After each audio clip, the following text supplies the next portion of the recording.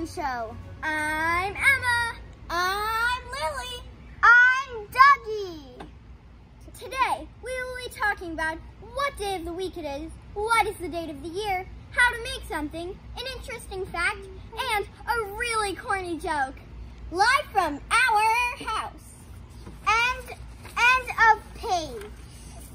To start off, today is Tuesday, April 21st, 2020, and the 39th day of our quarantine.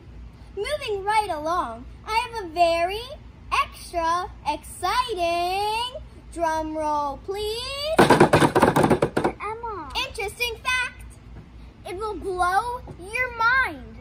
Did you know that Maine is the only state with a one syllable name? That's cool. It's now time for me to show you how to make something.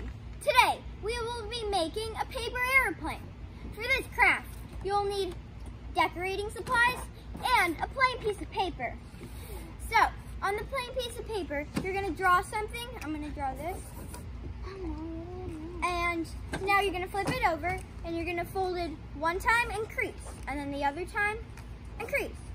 What does crease mean? Crease means when you make lines in a material such as paper. Thank you, Lily.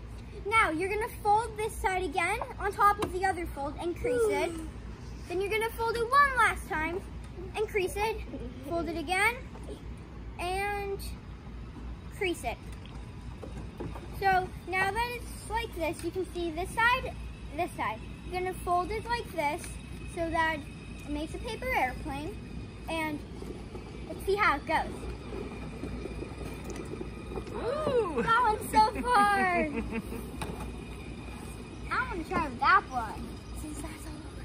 Since that's all over, let me tell you a very extra funny joke. What do you call a pig